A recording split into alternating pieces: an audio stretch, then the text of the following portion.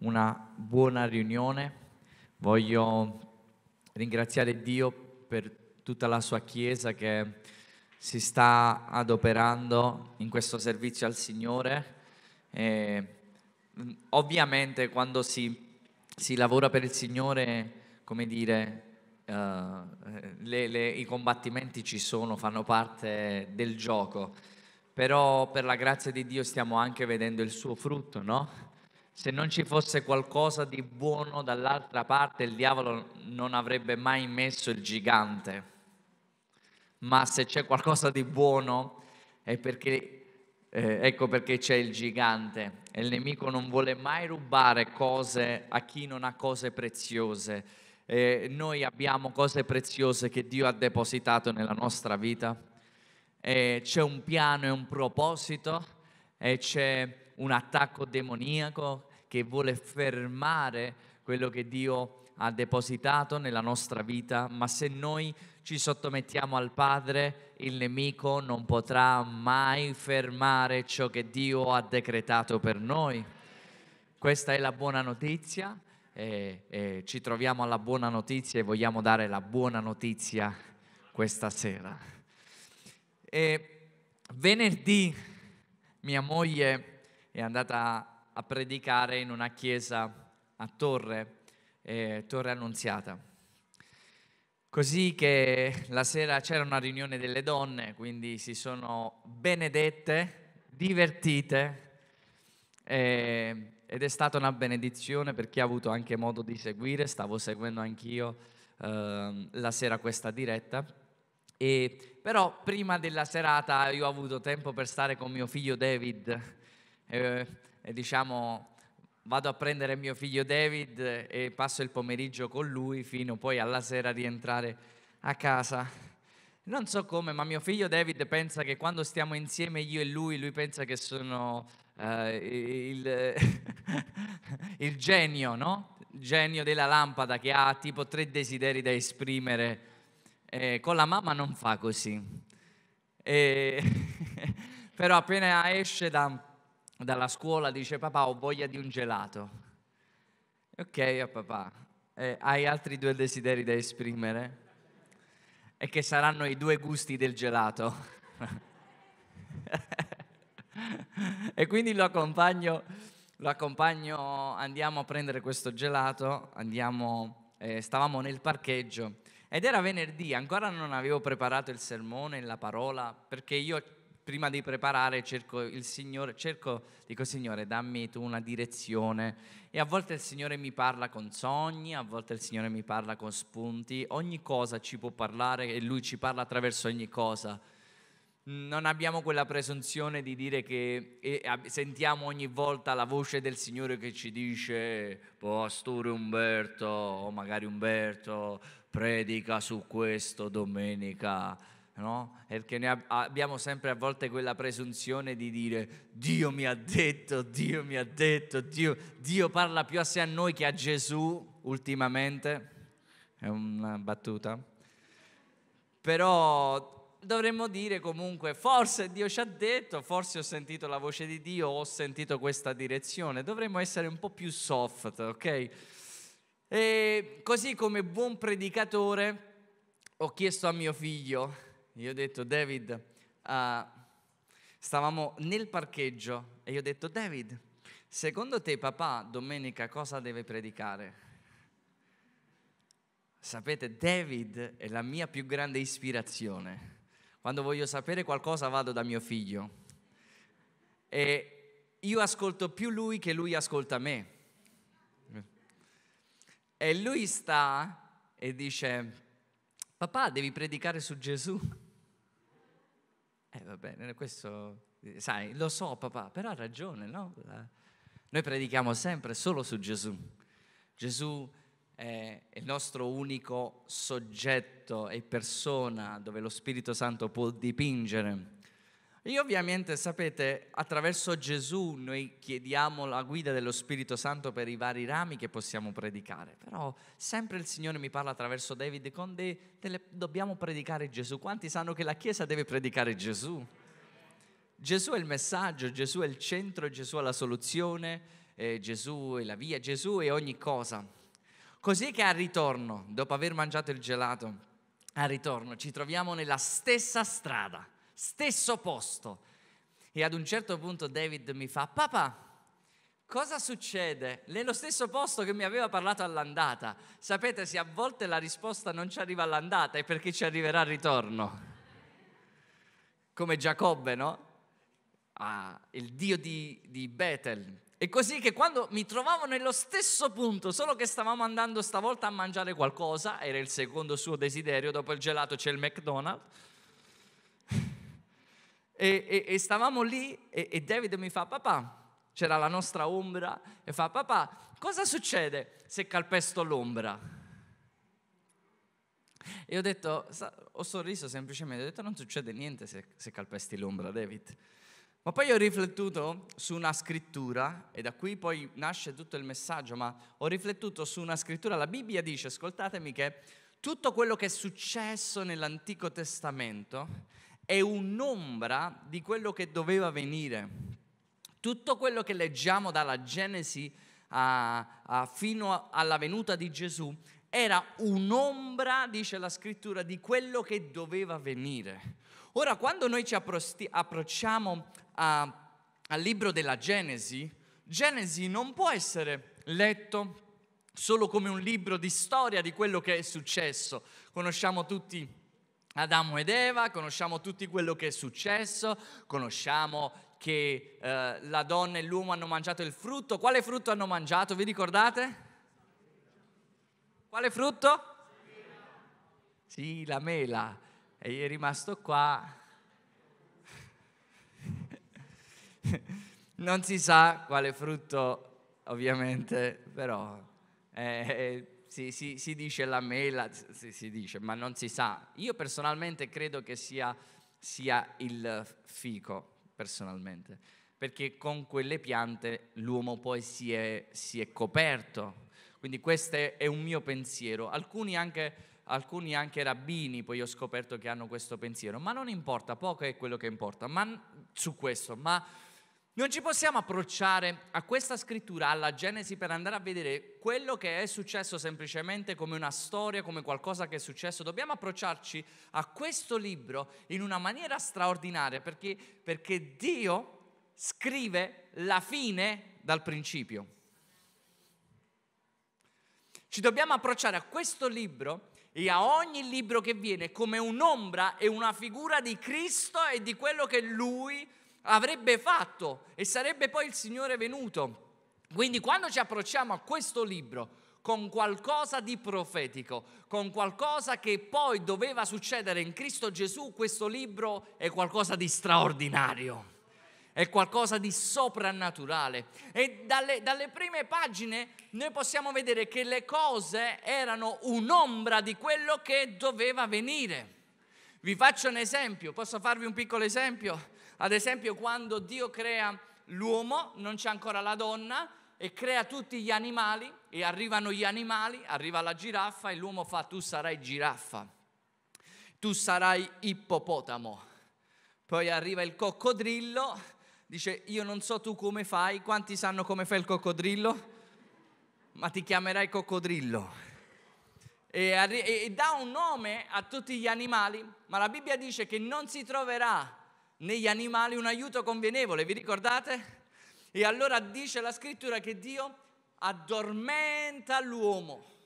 E nella nostra traduzione dice viene tolta una costola e viene fatta la donna la cosa più stupenda che Dio abbia mai fatto. Amen. E dice l'uomo, ah, se fosse stato napoletano, le, l'espressione sarebbe stata Mosi. Prima no. Ossa delle mie ossa, carne, sangue, carne, tutto quello che fa parte di me. E dice la scrittura che questo, in Efesini dice, questo sarà, questo mistero è, un, è un'ombra, quello era un'ombra di quello che Cristo e la Chiesa è successo. Tutto quello che è successo era un'ombra di quello che doveva succedere. L'uomo che, che si addormenta. Prima c'erano gli animali, ma gli animali non avrebbero dato piena redenzione all'uomo, quindi Dio addormenta l'uomo che rappresenta Gesù sulla croce, viene addormentato e da lui uscirà la Chiesa, da lui uscirà la donna che dice saranno una e una sola cosa. Quelle cose sono ombre di quello che Gesù avrebbe fatto e tutta la Bibbia parla di Gesù. Ora, Dio scrive, la bellezza di questa parola è che Dio scrive la fine dal principio. E quando l'uomo pecca, dà un indizio. Noi dobbiamo capire e leggere la Bibbia in questo modo. Quando l'uomo pecca, Dio gli dà un indizio e sapete tutti la promessa che Dio dà in Genesi 3:15 dice io porrò inimicizia fra te, parlando alla donna, io porrò inimicizia fra te e la donna e fra il tuo seme e il seme di lei, esso ti schiaccerà il capo e tu ferirai il suo calcagno. In poche parole, quando l'uomo ha peccato e c'era Satana e Dio stava dando un indizio a Satana, stava giudicando Satana, il serpente, e poi la donna avrebbe partorito con dolore, all'epoca non c'era il cesario, e poi, e poi dopo l'uomo che eh, avrebbe lavorato con sudore, cosa dice? Inizia a parlare prima al serpente e dice al serpente, io porrò inimicizia fra te e la donna e fra il tuo seme il seme di lei esso ti schiaccerà il capo, cioè il seme della donna avrebbe schiacciato il capo al serpente. In poche parole, in Genesi 3:15 Dio ci ha appena detto che abbiamo vinto. È appena iniziata la storia. Dice, voglio dirti una cosa, pensi di aver vinto, ma io ti dico che tu avrai il capo schiacciato. L'unica cosa è che ferirai il calcagno, ma il tuo capo sarà schiacciato. possiamo andare con questa scrittura in Apocalisse e dire abbiamo già vinto. Perché Dio inizia dalla fine e ci dà già vittoria. E ora l'uomo pecca, così che l'uomo pecca e succede una cosa, quando l'uomo pecca voi sapete che la scrittura dice che loro si rivestono di, di, eh, con piante, con foglie di fico. Così che Gesù, Dio, deve redimere l'uomo. Ci siete? Dio deve redimere il peccato e Dio già opera facendo la redenzione per l'uomo, dando un indizio. Quello che fa e dice la scrittura, Dio lo dice in Genesi 3:21, dice Dio riveste l'uomo, dice così, poi l'Eterno Dio fece ad Adamo e a sua moglie delle tuniche di pelle e li vestì.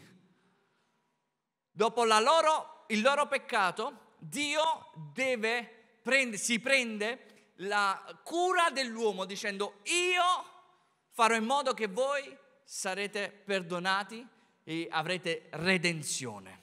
E ci dà un indizio, dal seme della donna uscirà il Salvatore. Quindi il diavolo aveva questo indizio, aveva l'indizio che dal seme della donna sarebbe uscito il Redentore, il Salvatore. E poi il Signore prende una pelle di animale che qua non lo dice e riveste l'uomo. E questo ve lo dico io di cosa è secondo me, a mio parere, secondo tutto quello che dice la scrittura, quale animale era questo, questo animale. Perché io qua su, su questa scrittura ebbi una visione che ve la racconto, la potete prendere come no, fate voi, ma io stavo pregando su questa scrittura e mentre stavo pregando, perché sapete, a volte si dice che Dio uccide qua l'animale e riveste l'uomo, però mi sembrava un po' troppo il fatto che Dio uccideva l'animale. Non mi piaceva tanto questa cosa, dice ma com'è possibile che Dio uccideva l'animale? È lì che ho avuto una visione e quello che ho visto, e ho visto che quando l'uomo ha peccato Dio diceva chi andrà per noi? E c'erano gli animali, e c'era il leone, c'era la tigre, c'era la giraffa, vedevo in visione, vedevo gli animali e Dio che diceva chi andrà per noi? L'uomo ha peccato, doveva essere redento e Dio diceva chi andrà per noi? Ho visto letteralmente il leone scuotere la testa, non voleva andare. Io ho visto qualche altro animale fare un passo indietro. Io ho visto in visione che da lì c'era un piccolo spazio. Io ho visto che un piccolo agnellino si faceva strada da dietro. È lì che la scrittura dice, ecco, l'agnello di Dio viene. Ecco, nel rotolo del libro è scritto di me, oh Dio, io vengo per fare la tua volontà. Era scritto di lui, l'agnello era stato immolato prima della fondazione del mondo.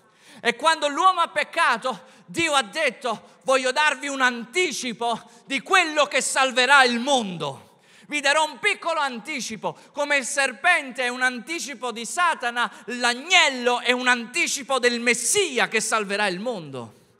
E quindi l'uomo viene rivestito con peli, io credo, di agnello.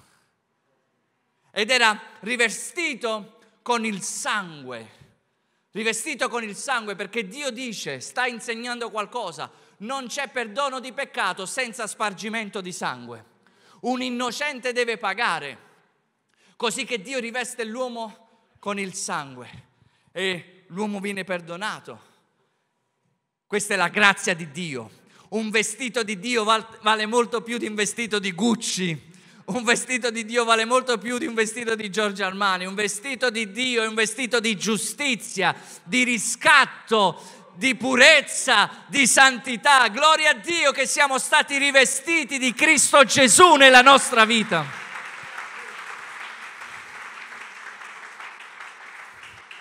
Così ora andiamo dal capitolo 3 al capitolo 4. Ci siete? La storia è qua. La storia la stiamo comprendendo. Arrivano due figli, Abele e Caino. Il diavolo ha un indizio uno di loro, uno di loro sarà colui che Dio userà per redimere per i peccati. Uno di loro, o Caino o Abele. E dice la scrittura che Caino lavorava ai campi e nei campi c'era la maledizione perché la terra era stata maledetta. Mentre invece Abele no, lavorava con il gregge. E la scrittura dice che entrambi hanno fatto una una, un'offerta al Signore e Dio non riguarda l'offerta di, Co- di Caino, vi ricordate, ma riguarda l'offerta di Abele. Ora Caino offre de- sue, dei frutti della terra, mentre Abele offrirà primogeniti. E Dio riguarda Abele e non Caino. Perché Dio riguarda Abele e non Caino? Perché Abele stava servendo Dio nella giustizia e stava rappresentando quello che era il piano di Dio di, di redimere l'uomo, stava offrendo agnello stava offrendo sangue, sapeva che per essere perdonato ci voleva il sangue e Abele stava offrendo del sangue, mentre Caino no, stava offrendo un'offerta che non era il sangue e non c'era perdono dei peccati. Così che Dio vede e dice ha visto e ha benedetto l'opera e l'offerta di Abele perché rappresentava l'ombra della venuta di Cristo. Sapete, ogni uomo di Dio che ha fatto qualcosa di straordinario, che ha portato salvezza, era un'ombra e il diavolo ha voluto fermare, ma stava calpestando solo un'ombra di quello che sarebbe stata la venuta di Cristo. Ci siete? Sempre è stato il sangue che ha fatto la differenza.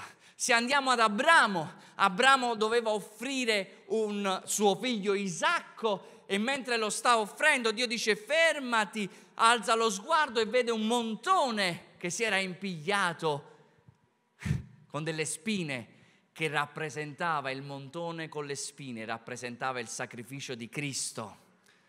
Viene preso questo montone al posto, al posto, del figlio, viene offerto il sangue di questo montone al posto del figlio e Abramo chiamerà quel luogo Geova Jaire, al monte dell'Eterno Dio provvederà. Dio provvederà il sangue, Dio provvederà un'offerta, Dio provvederà un sacrificio, poi va avanti con Giacobbe la scrittura. E Giacobbe viene benedetto attraverso il sangue e la mamma uccide delle pecore, ne fa una pietanza per il marito e ne fa un vestito per Giacobbe. E quando Giacobbe viene rivestito con peli di agnello, si presenterà dal padre e il padre lo odorerà e dirà l'odore è di Esaù. La voce è di Giacobbe. Io ti benedico, figlio mio. Giacobbe era rivestito di peli di, camme, di, peli, di, camme, di peli di, di agnello e venne benedetto dal Signore. Non per lui, ma per il sangue di Gesù che era su di lui. Sono qua per dirti, Chiesa meravigliosa questa sera, che c'è potenza nel sangue di Gesù, che c'è vittoria nel sangue di Gesù, che per il sangue noi siamo salvati per il sangue noi siamo redenti, per il sangue noi siamo liberati, per il sangue noi siamo benedetti, per il sangue noi siamo protetti, per il sangue noi andiamo avanti, per il sangue siamo purificati, vinciamo per il sangue, abbattiamo le opere del diavolo per il sangue.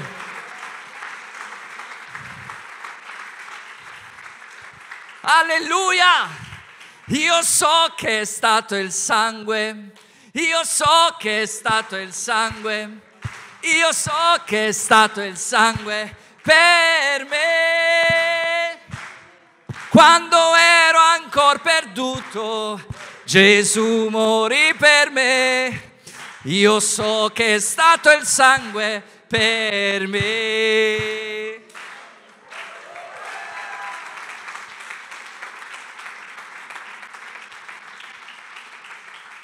Alleluia! Il diavolo non ha paura dei miei pensieri, non ha paura delle mie opere, non ha paura di quello che io faccio. Il diavolo ha paura del sangue di Gesù sulla nostra vita. C'è potenza in una sola goccia di sangue di Gesù, è capace di benedire tutta la terra, tutta l'umanità e di cambiare la maledizione in benedizione, la malattia in guarigione. Alleluia! C'è potenza nel sangue di Gesù. La condanna va via nel sangue di Gesù. Il perdono viene per il sangue di Gesù. C'è potenza, c'è potenza, c'è potenza. I demoni fuggono per il sangue di Gesù. Alleluia, alleluia.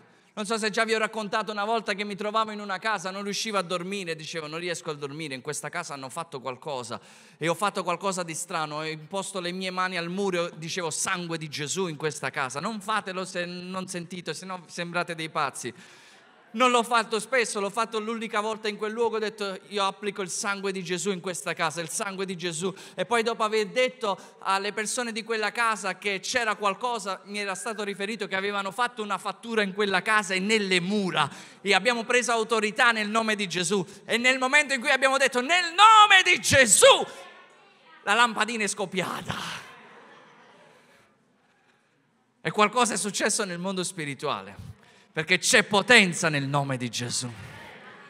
Sto solo gridando un po' per svegliare qualcuno, non sono arrabbiato, ma c'è l'unzione dello Spirito Santo, perché dove l'unzione vede il sangue opera, l'unzione può operare solo dove c'è il sangue. Alleluia. Per il sangue Giacobbe è stato benedetto. Per il sangue Giuseppe è stato scambiato è stato il sangue. Gli portarono una veste che è stata intinta nel sangue di un agnello. E quando Giacobbe vide, disse: Questa è la veste sicuramente di Giuseppe. La veste era di Giuseppe, ma il sangue era quello dell'agnello che ha pagato al posto suo. E Giacobbe lo riebbe per specie di resurrezione, perché un altro sangue era stato dato al posto suo. Non è una buona notizia, Chiesa, questa sera, che un altro sangue è stato dato al posto tuo, al posto di tuo marito, al posto di tua moglie, al posto dei tuoi figli, al posto dei tuoi nipoti, sia il sangue di Gesù sulla nostra generazione. Sia il sangue di Gesù in questo paese sia il sangue di Gesù attraverso di noi. Io ti benedirò a migliaia, oltre mille generazioni. Benedetto per il sangue, dico me benedetto per il sangue. Benedetto per il sangue. E noi a volte pensiamo di aver fede nei nostri sentimenti, non possiamo aver fede in come ci sentiamo, non possiamo aver fede se stiamo bene, se stiamo male, non possiamo aver fede nei nostri ragionamenti, noi possiamo aver fede solo se abbiamo fede nel sangue di Gesù, le cose funzionano, perché non sarà per la nostra forza né per la nostra potenza, ma per lo Spirito che si muove attraverso il sangue di Gesù. Quando vedo il sangue e i demoni vedono il sangue, e la scrittura dice, il sangue ha una voce. In Genesi al capitolo 4 Dio va da Caino e dice, mentre Caino è stata alla presenza di Dio, ascoltatemi, Caino sta alla presenza di Dio e poi dopo Dio dice, fai il bene e sarai guardato. Se vuoi avere quello che ha ottenuto Abele, fai quello che fa Abele. Amen. Funziona. Sapete funziona? Sapete che Dio non riguarda persone, ma riguarda a tutto ciò che ha a che fare con un'opera identificata con Cristo Gesù? E dice la scrittura, benché Abele è morto, l'offerta che è stata fatta con eccellenza parla ancora. Ci sono due cose che parlano di Abele. La prima è l'offerta la seconda è il sangue. Il sangue parla. E dice la scrittura che Dio dice a Caino, dov'è tuo fratello Abele? Ci avete fatto caso che quando Dio fa domande ci troviamo nei guai? Adamo, dove sei? Voi pensate che Dio non sappia la risposta? Se Dio ti fa domande, siamo nei guai. Quando Dio ti fa una domanda, tu puoi rispondere, oh oh, oh oh, cosa ho fatto? Sapete quando la mamma chiama il figlio, il papà chiama il figlio? Non lo chiama amore. Ad esempio, David, oh oh, cosa ho fatto? E viene tutto sporco di cioccolata, non ho fatto niente. E Dio dice a Caino, dov'è tuo fratello Abele? E Caino aveva aveva escogitato un piano. Lo volete sapere questo piano? Non fatelo mai. Ma dopo aver ucciso nel campo, e ascoltatemi, il campo sempre rappresenta l'uomo. Vi ho detto che ogni cosa nell'Antico Testamento è una figura di quello che doveva venire. Il campo rappresenta l'uomo. Caino rappresenta i fratelli, rappresenta me, te, i farisei che hanno ucciso Gesù e Abele rappresenta Cristo e nel campo Dio avrebbe mandato Cristo sulla terra e gli uomini e i fratelli non lo hanno accettato e hanno ucciso Abele, che figurati Cristo. Ci siete? E allora Dio dice, dove sta tuo fratello Abele? E Caino aveva provato semplicemente a uccidere Abele dicendo, vieni nel campo. Lo ha ucciso e indovinate cosa ha fatto? Lo ha sotterrato. Così dicendo, così che Dio non lo vedrà. E Dio gli dice, Caino, dove sta tuo fratello Abele? Ah, non lo so. L'ho visto prima, l'ho salutato, ma non so dove sia andato. E Dio gli dice, Caino, il sangue di tuo fratello Abele sta gridando a me dalla terra perché il sangue parla. Il sangue, lo dice in, in, in Genesi 4, dici, il sangue parla. Quanti sanno che nel nostro sangue c'è la parola? Quanti sanno che se vogliamo vedere se stiamo bene dobbiamo andarci a fare un'analisi del sangue? Dobbiamo andare a vedere nel sangue si vede se mangiamo bene, se ci trattiamo bene, se c'è qualcosa che non va, se c'è da fare un'assicurazione sulla propria vita, ti vanno a vedere nel sangue tutto quello che c'è nel sangue, se ci sono state malattie e vanno a vedere tutto nel sangue per vedere se nel sangue, perché nel sangue c'è la vita e il sangue parla e Dio ha messo nel sangue la vita. E noi sappiamo, io so solo tre cose del sangue e me le so pure appuntate perché le so, ma me le posso pure dimenticare. Ma sappiamo che nel sangue abbiamo i globuli rossi, i bianchi e le piastrine, come dicevo. Se solo noi vediamo nel sangue, i globuli rossi sono quelli che purificano, che danno ossigeno all'organismo. Poi se ci sono i bianchi sono quelli che combattono contro le infezioni e le piastrine vanno lì contro la ferita per rendere solida la ferita. E... Scusate. Quindi se solo vogliamo vedere che il sangue fa tutte queste cose, c'è molto di più ovviamente nel sangue di Cristo verso la nostra vita, che va contro ogni infezione della nostra vita, che raggiunge ogni attacco del nemico che vuole penetrare, che vuole ferire. Il sangue di Gesù va e va e guarisce completamente, solidificando quella ferita. Questo fa il sangue di Gesù. Amen. C'è potenza nel sangue di Gesù. E voglio dirvi questo, voglio darvi qualche immagine brevemente, con questo concludiamo e poi prendiamo la cena del Signore e ci attendiamo miracoli nella potenza del suo sangue. Gesù fa il primo miracolo nelle nozze di Cana, trasforma l'acqua in vino che rappresenta il nuovo patto. Il primo miracolo di Mosè era quello di trasformare l'acqua in sangue e questo ministero, il ministero della legge, il ministero della morte, della depressione, che avrebbe portato tristezza più che depressione, ceneri, questo è quello che ha fatto il ministero della legge, pur essendo pura e santa, non poteva far sì che l'uomo poteva salvarsi con le sue opere. Infatti quando è stata data la legge 3.000 persone sono morte, ma quando è venuto il nuovo patto e lo Spirito Santo 3.000 persone hanno ricevuto la vita e Cristo il Signore Gesù. Questo è il ministero di Gesù, è il sangue del nuovo patto, che Mosè ha cambiato l'acqua in sangue, portando poi, quello avrebbe portato morte, eh, come dicevo cenere, ma Gesù ha portato invece vino che rappresenta vita, rappresenta grazia, rappresenta favore, rappresenta benedizione. Questo è il patto del nuovo sangue. E questo dice il Signore, io sono venuto, Chiesa, su di voi per trasformare il vostro lutto in danza, per dare l'olio della gioia anziché ceneri, un manto della lode invece di uno spirito abbattuto, dove voi sarete chiamate querce di giustizia e la piantagione dell'Eterno. E noi possiamo averlo solo grazie al sangue di Gesù. Non è come ci sentiamo, non è quello che il diavolo ci dice, ma è grazie al sangue di Gesù. E nel sangue di Gesù ci sono tante cose, ma voglio raccontarvi questo e poi già concludiamo.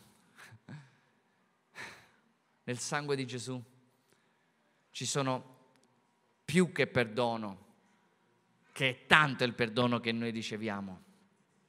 Riceviamo un perdono che è impossibile poter ricevere per le nostre opere. La nostra giustizia è un panno sporco, dice la scrittura, davanti a Lui e per il sangue di Gesù questa sera possiamo ricevere perdono.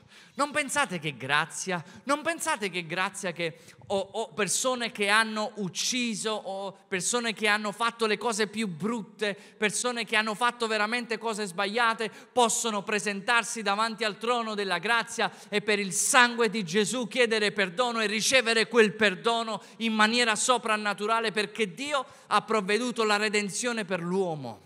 Non è straordinario? Grazie a quel perdono. Siamo perdonati per il sangue di Gesù.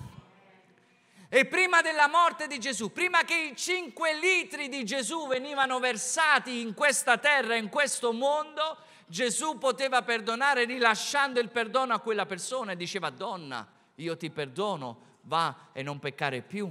Ma quando Gesù ha riversato ogni goccia del suo sangue, il perdono è stato esteso a tutto il mondo, dicendo Padre, perdonali.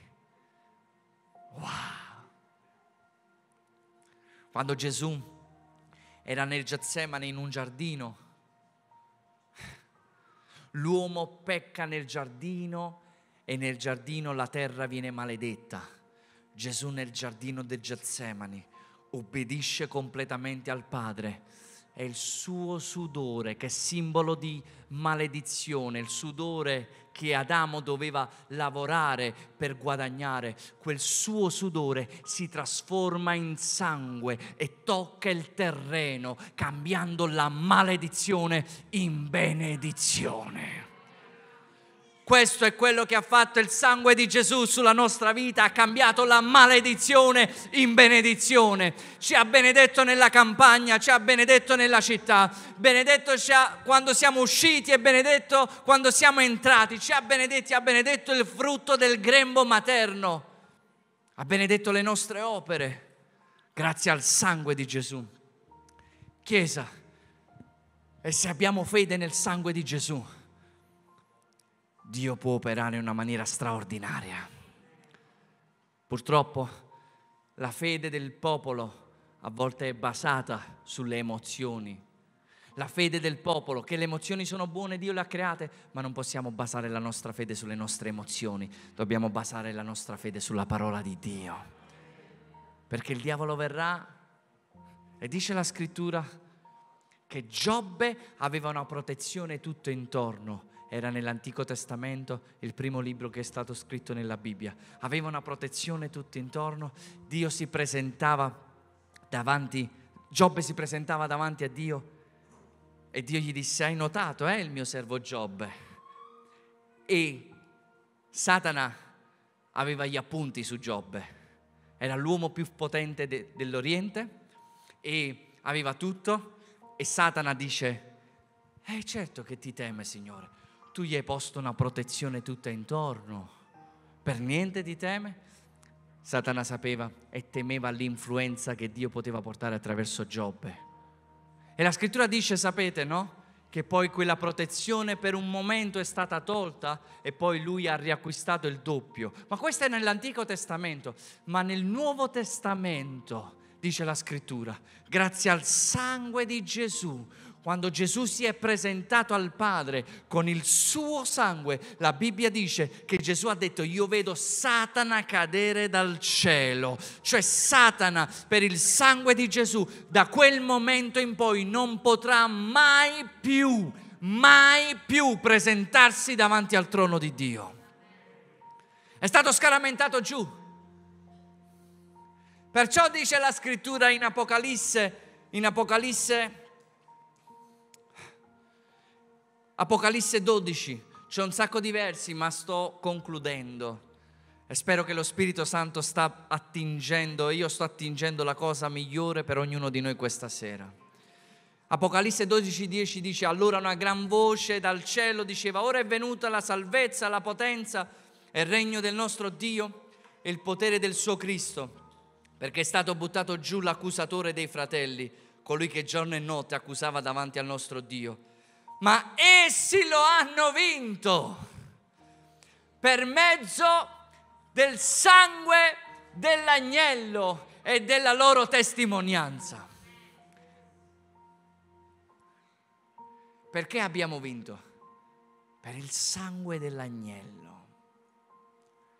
Quando Giovanni vide Gesù, vide non solo un'ombra di tutto quello che doveva venire, ma vide Gesù in persona, disse, questo è l'agnello di Dio che toglie il peccato dal mondo. L'agnello di Dio che era stato nascosto nell'ombra dai tempi antichi, adesso compare davanti a Giovanni. E ascoltami, voglio parlare a qualche donna in particolare. C'è qualcuno che ha delle colpe che non riesce a perdonarsi. Voglio dirti, il sangue di Gesù è potente da perdonare ogni peccato. La colpa che il diavolo usa per accusarti, per farti sentire giù, dovrai gridare in faccia al diavolo, stai zitto diavolo nel nome di Gesù Questa colpa non mi appartiene più. Il mio peccato l'ho confessato davanti a Dio e dice la scrittura che se noi confessiamo i nostri peccati a Dio, Egli è fedele ed è giusto da perdonare ogni nostro peccato. Perciò non andare a Dio raccontandogli sempre del tuo peccato, perché ogni volta che dici Padre perdonami e lui ti ha perdonato e ha buttato quel peccato in fondo al mare e glielo ricordi a Dio, Dio dice non mi ricordo figlia, di quale peccato mi stai parlando? Non me lo ricordo perché già ti ho perdonato. E a volte la nostra coscienza vuole essere più forte del sangue di Gesù. La coscienza fa la coscienza e va bene e deve, e deve, e deve suonare l'allarme quando noi sbagliamo, deve dirci quando noi sbagliamo. Ma ascoltatemi, quando io piego le mie ginocchia e dico semplicemente Padre perdonami, lo dico con il cuore lo dico sinceramente perché Dio piace la sincerità che risiede nell'intimo del cuore. Padre, ho sbagliato. Padre, perdonami. Padre, lavami con il tuo sangue. Ho bisogno del tuo perdono e purifica il mio cuore. Purificami. E da quel momento in poi il sangue di Gesù mi purifica e mi lava, facendo di me una persona amata è totalmente nuova. Venite a me, dice il Signore, se anche i vostri peccati fossero rossi come lo scarlatto, diventeranno bianchi come la neve. Il sangue di Gesù è potente da liberarci da ogni colpa, ogni colpa. Paolo aveva fatto un omicidio, eppure Dio lo aveva perdonato da ogni colpa. Mosè aveva fatto un omicidio e Dio lo aveva perdonato da ogni colpa. Butta ogni colpa e ogni senso di condanna ai piedi della croce affinché il sangue di Gesù possa purificare. Perché il sangue ti perdona, il sangue ti purifica, il sangue ti riveste di una giustizia sarai santo, non per le tue opere, ma per il sangue di Gesù. Il sangue di Gesù mi fa fare pace con Dio. Il sangue di Gesù mi fa presentare davanti al trono della grazia. Il sangue di Gesù provvede per noi. Il sangue di Gesù è il motivo della nostra vittoria. Per il suo sangue. E con questo concludo il sangue ha il potere di aprirci il cielo, ha il potere di purificare tutto il nostro intero essere e ha il potere di rompere le opere del diavolo, il potere contro ogni spirito, contro ogni demone, il sangue di Gesù. Le nostre nonne lo sapevano bene quando succedeva qualcosa che non andava. Applico il sangue di Gesù. Le nostre nonne sapevano gridare bene, sangue di Gesù, che opera. E un uomo disse, un ateo disse a un uomo di Dio, ma con tutto questo male che c'è nel mondo, io non credo che il sangue di Dio funziona, perché c'è tanto male. E quest'uomo di Dio disse, ascoltami, fatti spiegare come funziona il sangue di Gesù. Tu puoi lavorare in una fabbrica che vende saponette, ma se non prendi quella saponetta e sei sporco e se non ti lavi con quella saponetta, a niente servirà tutte quelle saponette che ci sono lì per purificare. E dice così è il sangue di Gesù. È importante che è stato versato, ma adesso è importante che noi lo facciamo nostro, che sia riversato su di noi, che sia riversato sulle nostre case, che sia riversato sui nostri figli, che sia riversato sul nostro lavoro, che sia riversato ogni volta in ogni via che andiamo, sia riversato il sangue su di noi nella piazza che andiamo a trovare, nella casa che andiamo a trovare, sia riversato il sangue su di noi per trasformare l'opera del diavolo in bene, la maledizione in benedizione, la guarigione per i nostri figli, il sangue, il sangue, applichiamo il sangue. E in tutta la storia vediamo quando il sangue veniva applicato con issopo. Ah, vi ricordate? Vi ricordate l'uscita dall'Egitto? Dio disse giudicherò, passerà l'angelo della morte, ma il sangue sarà applicato sulle vostre case. E quando l'angelo della morte passerà, non guarderà chi c'è dentro, non guarderà cosa hanno fatto, ma guarderà solo una cosa, se c'è il sangue. E se c'è il sangue, un agnello per ogni casa, io passerò oltre. E io voglio profetizzare che per il sangue di Gesù la, la, maledizione passerà oltre dalla tua casa. Per il sangue di Gesù gli spiriti immondi passeranno oltre dai tuoi figli. Per il sangue di Gesù l'opera del nemico passerà oltre. Con issopo su quella croce Gesù disse l'ultima parola, Padre. Anzi, prima di rendere lo spirito, Gesù disse, ho sete, ho sete. Il sangue era stato versato. Quel sangue che stava benedicendo la terra, l'umanità intera. Il sangue prezioso di Dio, senza macchia, senza difetto, il prezioso sangue. Gesù dice, ho sete. Così i romani prendono un ramo di issopo, viene intinta una spugna nell'aceto e gli sarà data sulle labbra. Issopo e sangue, l'agnello per ogni casa. Ci sarà un agnello per ogni casa ci sarà la salvezza.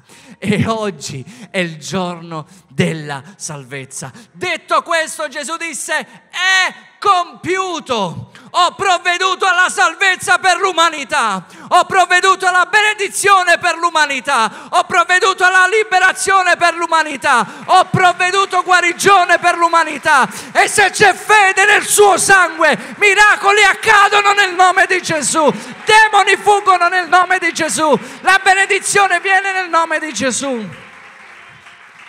Oggi è il giorno della salvezza, è compiuto. L'agnello è stato immolato. Io vidi l'agnello. Per l'agnello abbiamo vinto. Degno è l'agnello questa sera. Ci alziamo all'impiedi, Chiesa.